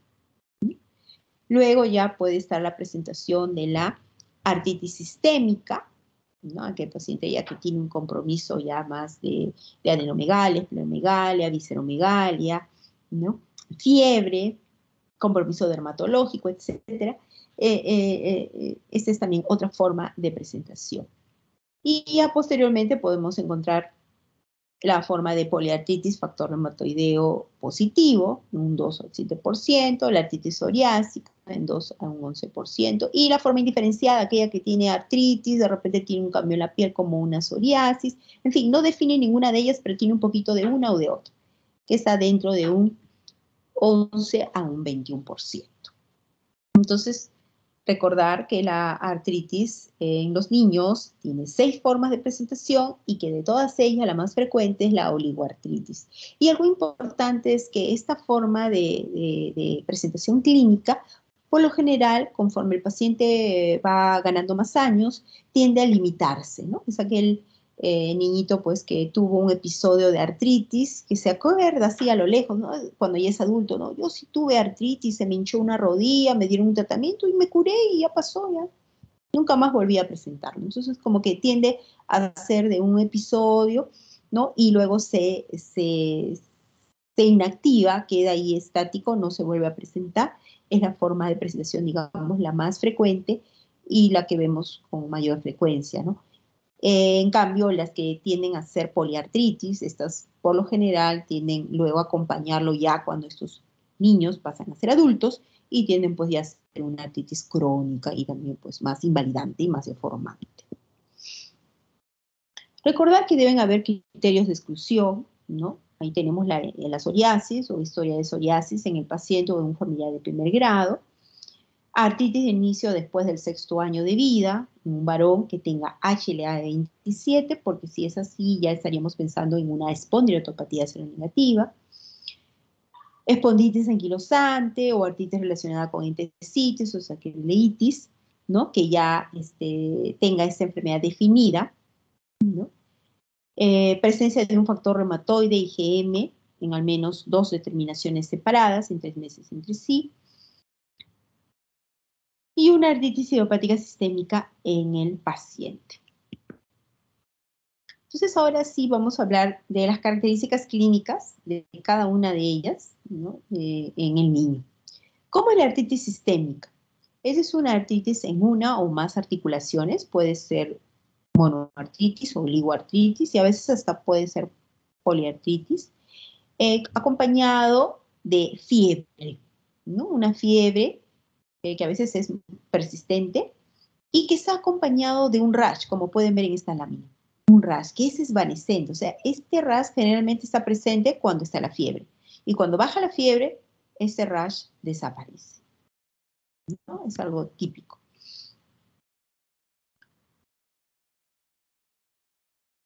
Eh, ¿Cuál es la triada entonces que nosotros debemos recordar cuando pensamos en una artritis sistémica? Artritis, fiebre, por lo menos dos semanas de evolución, y el exantema evanescente que hemos mencionado. En los exámenes de laboratorio, ¿qué podemos encontrar? Leucocitosis, trombocitosis elevación de los eh, reactantes de fase aguda, velocidad de cementación, proteína C. El exantema eritematoso evanescente. Puede haber compromiso de adenomegalia generalizada, puede haber hepato y esplenomegalia, y también compromiso de serosas, es decir, un derrame pleural o un derrame periférico. Por eso que es sistémico, tiene compromisos de diferentes em, em, órganos y manifestaciones clínicas. Y la fiebre que, se da con bastante eh, frecuencia. La segunda forma de presentación clínica en niños y la más frecuente es la oligoartritis. Artritis que afecta entre una hasta cuatro articulaciones, a predominio de miembros inferiores durante los primeros seis meses de tiempo de enfermedad. Y podemos encontrar dos formas de presentación. La oligoartritis, que es llamada persistente, que no afecta a más de cuatro articulaciones durante todo el curso de la enfermedad. Y la oligoartritis extendida, aquella que afecta a más de cuatro articulaciones, después de los primeros seis meses de enfermedad. Si pedimos los exámenes de laboratorio, por lo general tenemos eh, los anticuerpos, este, factor reumatoideo y anti-CCP negativos, y puede estar presente los anticuerpos antinucleares, inclusive anticardiolipinas, a títulos bajos, ¿no? Presentes. Tercera forma de presentación, aquel pacientito que tiene poliartritis, factor reumatoide negativo, artritis que afecta a cinco o más articulaciones durante los primeros eh, meses de enfermedad, los primeros seis meses de enfermedad, y obvio, cuando pedimos pues, los anticuerpos para el factor reumatoide, son negativos. Algo típico de este grupo de pacientes es esta carita, ¿no? Donde tienen una micronactia, una eh, disminución del tamaño del, mentón, eh, una implantación de la oreja baja, ¿no? Como ven, ¿no? Y la boquita así un poco aumentada y podemos ver cambios pues a nivel óseo importantes. Entonces, es algo típico de este grupo de pacientes. Luego tenemos la poliartritis factor reumatoide positivo. Esta es, digamos, la que más se parece a la artritis reumatoide del adulto. Artritis que afecta a cinco o más articulaciones durante los primeros seis meses de enfermedad, de tiempo de enfermedad. Y el factor reumatoide o los anticuerpos anticitrullinados son positivos. En al menos dos ocasiones separadas de tres meses entre sí en los primeros seis meses de enfermedad. Esta sí tiende a ser muy deformante, como la vemos, ¿no? sobre todo si es que no hay un diagnóstico y un manejo rápido, entonces tiende a ser deformativa y por lo general pues acompaña hasta en tiempos ya de adulto, ¿no? de, de este niño, cuando ya es mayor de edad. En el caso de los estudios de laboratorio, vamos a encontrar los anticuerpos anticitulinados positivos, el factor reumatoide positivo, los rectantes de fase aguda muy elevados. Cuando hay actividad puede haber anemia, leucocitosis, eosinofilia, como veíamos en los pacientes con artritis reumatoide del adulto. Luego tenemos la artritis psoriásica. Aquí vamos a encontrar artritis y psoriasis, es decir, la piel con escamas, con una un cambio de la piel de forma muy rápida, muy, acelerada. Eh, vamos a encontrar eh, dactilitis, los dedos en salchicha. Puede haber el punteado ungueal o nicolisis, es decir, los deditos, las uñas tienen unos hoyuelos, ¿no? Y puede haber psoriasis em, en un familiar de primer grado, ¿no? De repente madre o padre con antecedente de psoriasis la dactilitis, típica, podemos encontrarla, y las uñitas con los hoyuelos. Exámenes de laboratorio, eh, podemos encontrar los marcadores de inflamación positivos, velocidad de proteína C reactiva, eh, los anticuerpos negativos, factor reumatoide, anti-CCP, y puede estar el ANA, anticuerpos antinucleares positivos, en un 30-50%, a títulos bajos. Luego tenemos la artritis relacionada con la entesitis, esta artritis entesitis, eh, al menos con al menos dos de los siguientes elementos, presencia o antecedentes de dolor sacroiliaco o de dolor lumbosacro, de características inflamatorias, presencia del antígeno HLA-B27, presencia de antígeno, presencia de artritis de inicio después de, de los seis años de edad, uveitis anterior o aguda eh, sintomática, ¿no? Y esto es muy importante porque en niños siempre debemos hacer la evaluación a nivel ocular, puesto que si no hacemos este diagnóstico temprano puede llevar a un daño importante y hasta ceguera. Entonces, siempre cuando tenemos un niño en el cual sospechamos de una artritis eh, juvenil, siempre es conveniente una evaluación por oftalmología. Antecedentes de espondilitis anquilosante, artritis relacionada con entesitis, sacroileitis o con una enfermedad inflamatoria intestinal o síndrome de Reiter o uveitis anterior aguda en un familiar de primer grado. Entonces también los antecedentes familiares son importantes cuando sospechamos de artritis con entesitis. Podemos encontrar la endesitis aquiliana con el aumento de volumen. Podemos encontrar uveitis, ¿no? Y también podemos encontrar lesiones eh, típicas de un síndrome de Reiter, ¿no? La famosa triada. Conjuntivitis, eh, uretritis y artritis. Y las artritis indiferenciadas, pues en aquellas que no cumplen criterios, ninguna categoría, o sea, completa de todas las que hemos mencionado, pero que tiene una o más y que por lo tanto podemos ponerlas como artritis indiferenciadas como tal. Bien, este es un resumen de todo lo que hemos eh, mencionado de cada una de ellas, que sirve también para comparación y para poder hacer nuestros mapas conceptuales. Los diagnósticos, ¿no? De cada una de ellas. Las características clínicas, esta lámina es importante que la recuerde. Y cómo vamos a hacer nosotros el tratamiento farmacológico en niños. Aquí debemos tener bastante cuidado porque eh, recuerden que es un pequeño, ¿no? Y debemos de tratar de dar fármacos que no le causen reacciones adversas. Entonces, mucho cuidado con los antiinflamatorios, con los corticoides, para evitar reacciones adversas severas que luego traigan secuelas, ¿no? Cuando ya son adultos. Entonces, tenemos los antiinflamatorios no esteroideos. ¿Es un tratamiento de primera línea? Sí, va a mejorar el dolor, la inflamación. Mejoría por lo menos de 2 a 12 semanas. ¿Cuál es el fármaco antiinflamatorio eh, que podemos usar en niños? El naproxeno, el meloxicam, ¿no? Em, a dosis según kilo de pesos, ¿no? Si es muy, muy, pequeñito para no excedernos en ello, evitar así las reacciones adversas de gastritis que se pueden dar.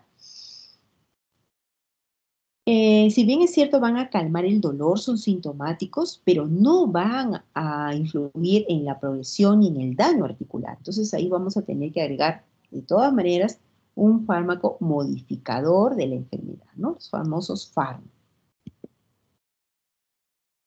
¿Podemos trabajar con los inhibidores de la COX-2? Sí, tipo Celecoxib, Naproxeno, podemos trabajar con ellos debemos de tener cuidado de no desarrollar pues algún tipo de reacciones adversas, eh, como cefalea, desorientaciones, mm, un poco de, conciencia, alteraciones renales, si usamos muchas dosis de, de, antiinflamatorios, ¿no? Podemos producir necrosis papilar o alguna insuficiencia renal. Entonces, cuidar mucho las dosis según el kilo de peso para este grupo de, de pequeños.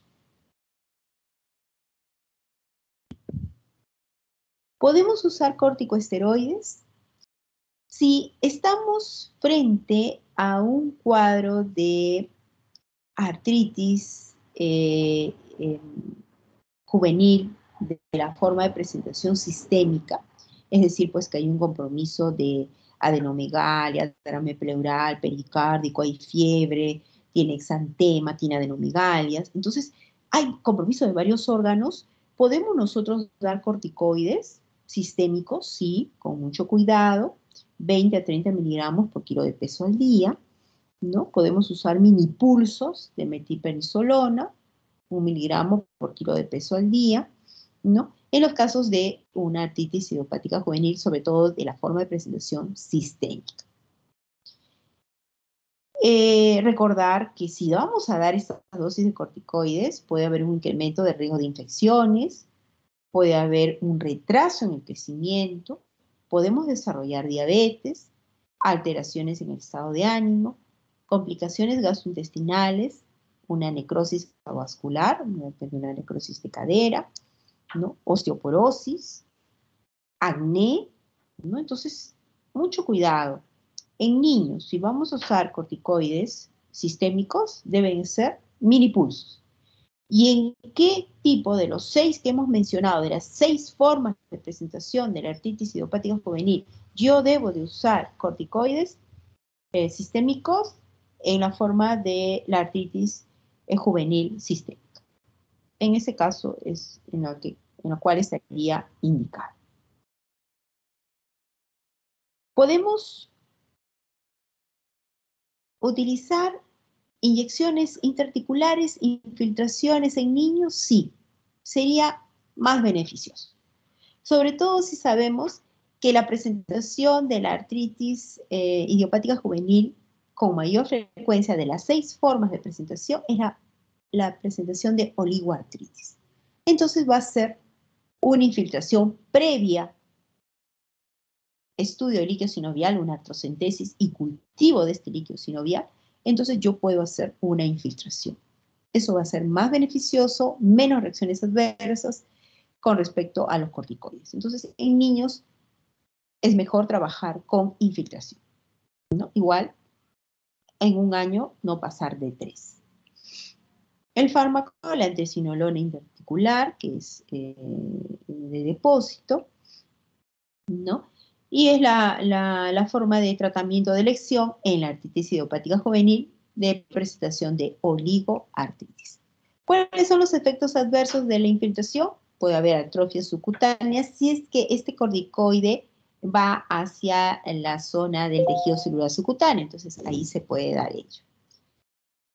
Eh, puede este, producir una hiperpigmentación en la zona de inyección o también una eh, zona más clara, puede cambiar la coloración.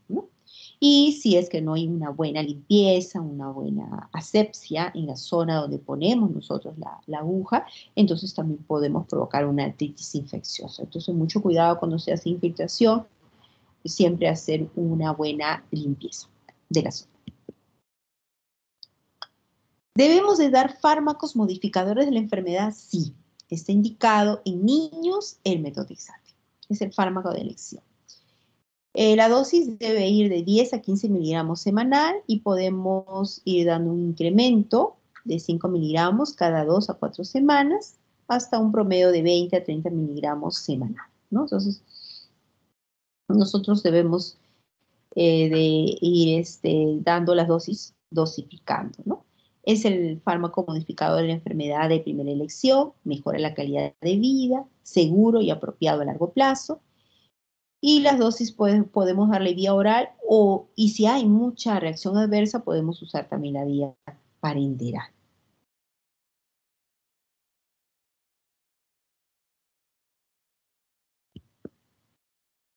No olvidarse que cuando damos el metotrexate, siempre agregar el ácido fólico, hacer controles periódicos de la función hepática, ¿no? dosar eh, transaminasas, por lo menos cada dos o tres meses. Si está elevado tres veces su valor base de, las transaminasas, pues probablemente vamos a tener que suspenderlo, retirarlo. Eh, si no hay una buena respuesta al metotrexate, podemos darle la leflunomida, una buena alternativa la dosis, si pesa nuestro niño menos de 20 kilos, darle 100 miligramos en un día y luego dosis de mantenimiento de 20 miligramos diario. Si pesa de 20 a 40 kilos, podemos darle 100 miligramos eh, por dos días y luego una dosis de mantenimiento de 10 miligramos.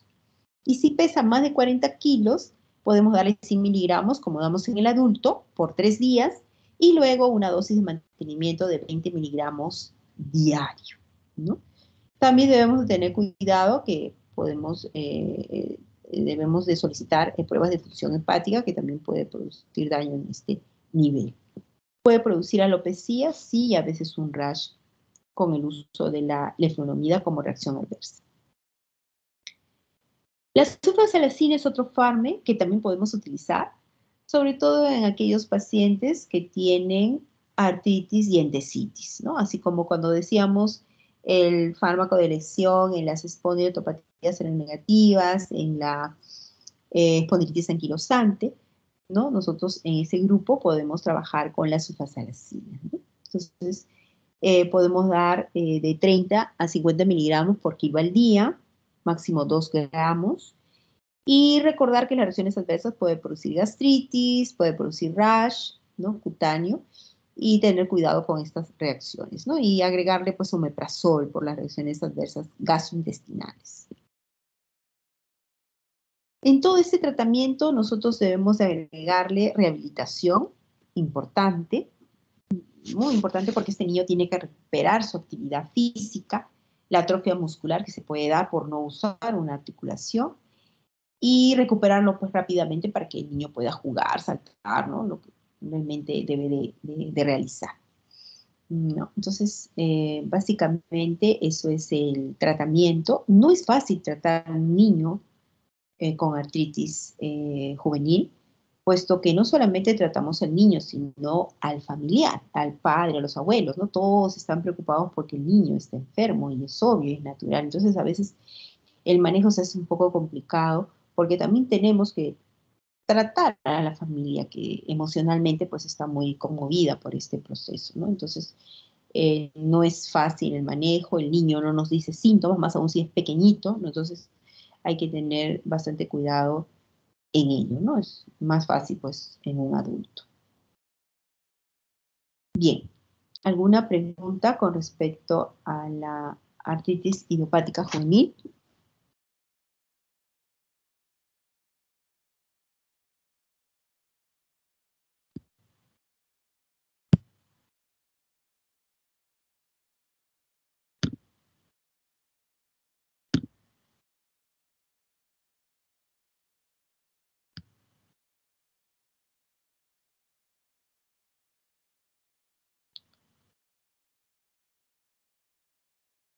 A ver, chicos, ¿está Lazo, Sarmiento, Caterine? Buenas noches, doctora, dígame. A ver, mira, si tú tienes un niñito, estás tú en tu rotación, tú eres la interna y estás en la rotación de pediatría, te toca pediatría, y tienes pues un niñito que está con dolor, inflamación en la rodilla, ¿no? Y, y el tobillo, ¿no? Por decir la rodilla derecha y el tobillito izquierdo, ¿no? Y ya tiene más de seis semanas con dolor, inflamación.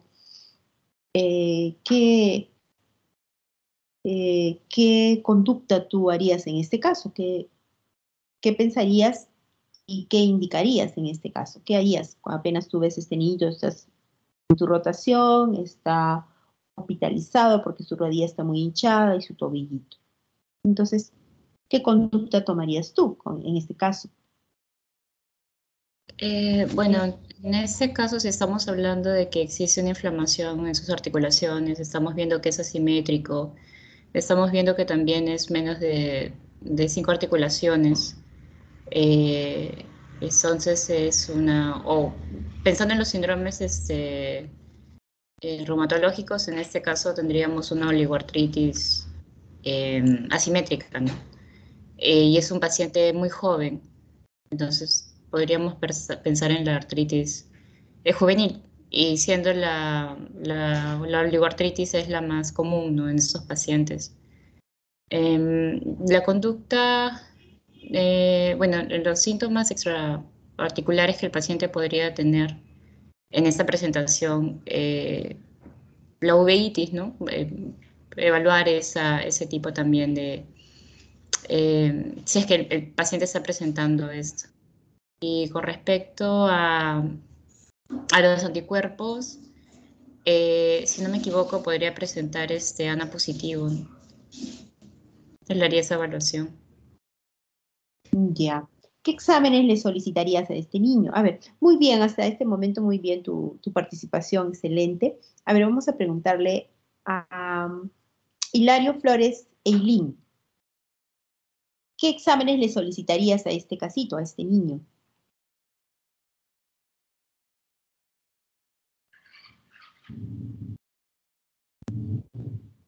¿Está Eileen?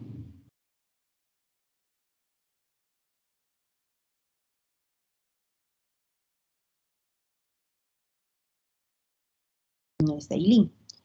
Este, Gurreonero Ramírez.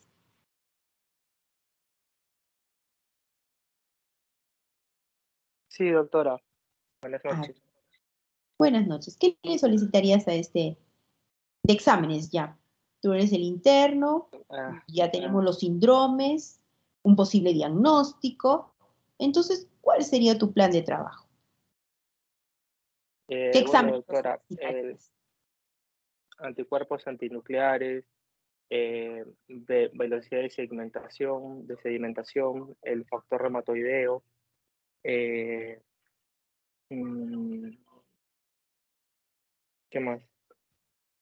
Los reactantes de fase aguda, como usted dijo, ¿no? Para poder confirmar. ¿Cuáles son? ¿Cuáles son? El, la velocidad de, de, sedimentación y el factor reumatoideo. No, no, no, no. A ver, a ver.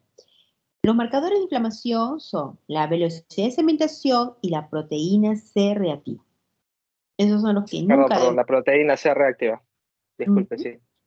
Y en los anticuerpos, obvio, puedes solicitar el, el factor reumatoideo, como has mencionado, eh, los anticuerpos anticitrulinados, ¿no? Y los anticuerpos antinucleares. ¿no? Entonces, esos tres grupos de, de anticuerpos son los que deberías solicitar, pensando en una eh, posible artritis, este, en este caso idiopatía juvenil, sospechando que es, bueno, una oligoartritis.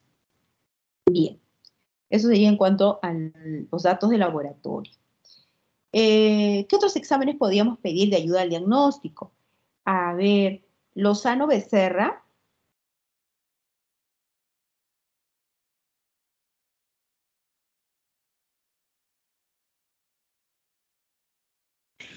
Doctora, ¿qué tal? Buenas noches. Ah, ya. ¿Qué otros exámenes solicitarías? Ya nos mencionaron los datos de laboratorio. ¿Pedirías algunas pruebas de ayuda al diagnóstico como este, radiografías? Eh, quizá podría pedir una, una radiografía de rodilla, doctora, o una artrocentesis para descartar alguna infección. Ya. Eh, ojo, si pedimos radiografía de rodillas, tiene que ser comparativa, frente lateral. Y también este paciente tenía compromiso de tobillo, entonces también pedirías una radiografía de tobillos comparativa bilateral. Eso es básico. Con respecto a lo que has mencionado, correcto, puedes hacer una artrocentesis, sobre todo de la rodilla que está inflamada. Entonces, eh, la has evaluado, la has examinado, hay signo del témpano, eh, signo de oleada, hay líquido, entonces se puede hacer una artrocentesis. Y el interno está en la capacidad de hacerlo, ¿no? En compañía de su médico asistente. Entonces puede extraer el líquido sinovial, puede mandar a estudiar este líquido, ¿no? Cultivo de líquido sinovial, gérmenes comunes, eh, hongos y BK, BK en líquido sinovial. Aparte el estudio citoquímico, y este, hacer búsqueda de cristales y búsqueda, pues, este, si hay algún tipo de, de, este, eh, de algún, a veces hay presencia de, de en cuanto al, al, citoquímico, si hay consumo de glucosa, ¿no? Eh, si hay un tipo de alteración en ello. Entonces, se hace todo un estudio completo de lo que viene a ser el líquido sinovial. ¿Bien? Si nos sale negativo este cultivo de líquido sinovial, ¿no? lo mandamos a estudiar, ya líquido, eh, no hay ningún germen y nos sale un líquido tipo inflamatorio. ¿no? Se hace recuento de células y sale eh, un líquido que es inflamatorio. No hay infección. Entonces, ¿qué podría yo hacer aquí eh, como tratamiento? Yanela, Javier Cruz Yanela.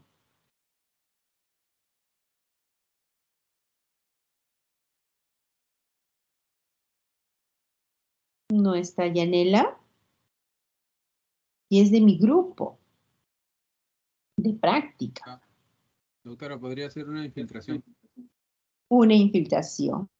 Lógico, ¿no? Y, y está indicado porque como es un cuadro oligoartritis, ¿no? Eh, y a veces esos tienden inclusive a limitarse, le puedo hacer una infiltración, ¿no? Y si hay una buena mejoría clínica, excelente. Si es con una sola, puedo trabajar con ella. Bien, y luego su rehabilitación, ¿no? Eh, para mejorar ya la movilidad de, de esa articulación. Entonces. Doctor, una pregunta. Sí, sí. Eh, en, este, en este caso, eh, al paciente se le podría dar tratamiento farmacológico con antiinflamatorios o corticoides, sí. quizá. El corticoide es el que estamos haciendo, interarticular. Si ya le aplicas interarticular, ya no tendrías por qué darle vía oral. Pero sí puedes darle un antiinflamatorio, vía oral. Eso sí, su antiinflamatorio es un aproxeno, ¿no? Eh, según las dosis, según el peso que tiene el, niño, y su eh, eh, corticoide interarticular, ¿no? Una infiltración. Si el proceso revierte en buena hora, excelente. Pero si vemos que tiende a ser más, digamos, crónico, vuelve a hincharse la rodilla, entonces ahí teníamos, tendríamos que estar pensando en darle un fármaco eh, modificador de la enfermedad, ¿no? Un farme. ¿Y cuál sería el farme que podrías darle ahí? Si es que esto tiende a ser repetitivo ese cuadro de artritis,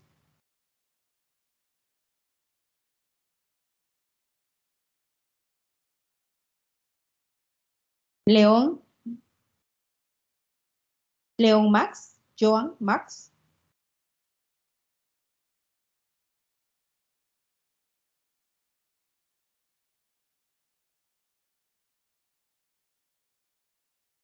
Yumu, Kaylee. Sí, doctora, ¿me escucha? Sí. ¿Qué farme Eh, podías darle a este niño si es que vemos que esto ya tiende a ser crónico? Sí, sí había una, un medicamento que usted lo puso en su diapositiva y lo mencionó. No me acuerdo exactamente su nombre. pero sí, mm, mm, ahorita se me fue, de verdad, doctora. Pero sí, sí, sí había escuchado esa parte que usted mencionó también. Mm, Doctora, eh, Sí. Ahí de- primera elección me parece que es metotrexato. Claro. Recuerden que en niños el fármaco de elección, el farme de elección es el metotrexate. Como ven en casi todas las patologías, siempre trabajamos mucho con el metotrexate, ¿no? Para la artritis reumatoide, para un paciente con lupus eritematoso sistémico que tiene compromiso articular, también podemos trabajar el metotrexate. Eh, podemos eh, darle en los pacientes que tienen artritis psoriásica, ¿no? aunque no lo hemos eh, desarrollado, no lo vamos a desarrollar en, las clases teóricas, pero también decirles que el metotrexate se puede usar en la artritis psoriásica, ¿no? Compromete, eh, eh, mejora mucho el compromiso de la piel y también el articular. Entonces el metotrexate es un fármaco muy noble, muy barato, muy económico. Siempre hay que tener cuidado con la toxicidad hepática y lo podemos nosotros dar a los pacientes, tanto adultos como niños, en diferentes patologías.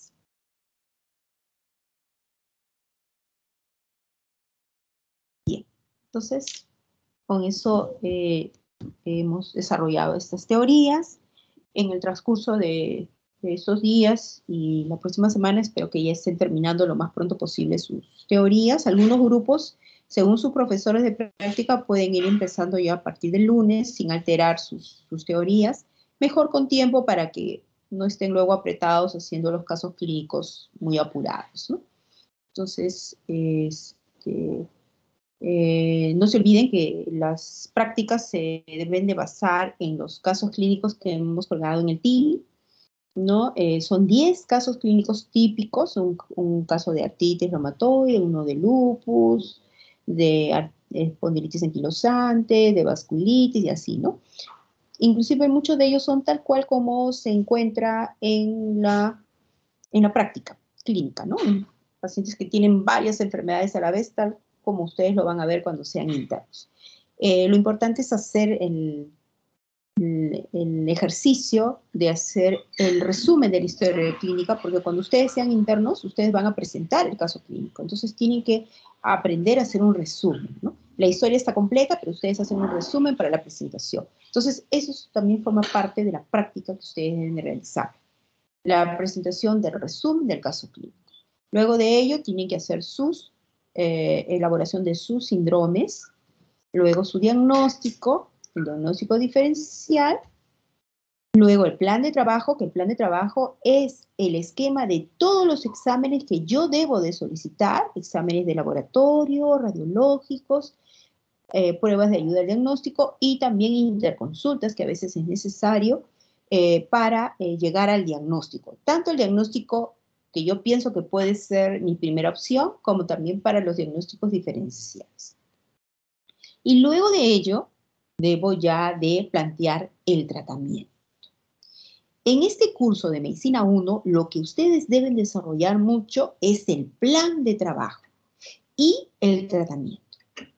Porque lo, lo demás, los síndromes, los diagnósticos, diagnósticos diferenciales, eso es algo que ya ustedes han ido desarrollando en el curso anterior de semiología. Entonces, aquí lo vuelven a trabajar, pero deben reforzar lo nuevo, que es el plan de trabajo y el tratamiento. Para ello tienen que leer. Leer, basarse en revistas, en este, guías, guías pueden ser nacionales, de hospitales del Ministerio de Salud o de Salud, o de el Colegio Americano de Reumatología o, o de del europeo, en fin, dependiendo cómo el alumno tenga el alcance de poder tener esta literatura y plantearlo en cada uno de los casos clínicos que se van a ir desarrollando. Entonces, esperemos pues que lo haga bien cada uno en, su, en sus grupos pequeños de práctica.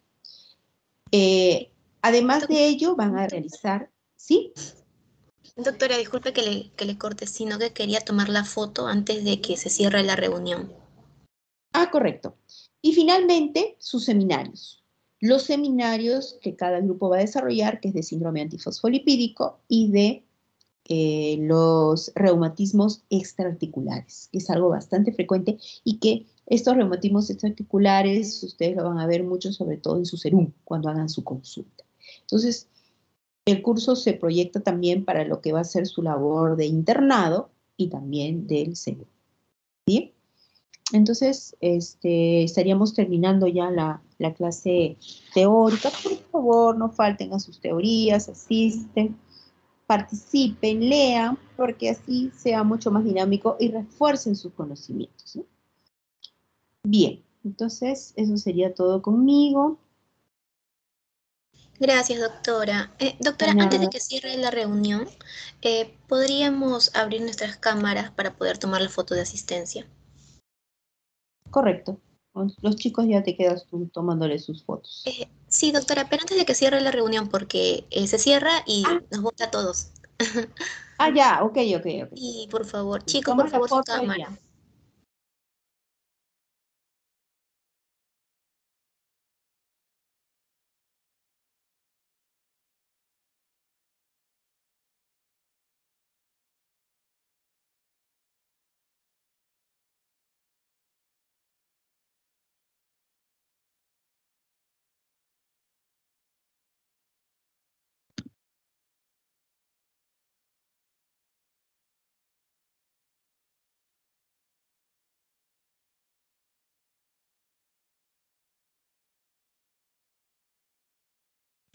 Gracias chicos, gracias doctora.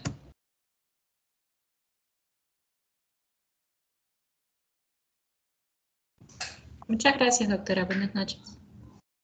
Gracias doctora, hasta luego. Gracias doctora, buenas noches.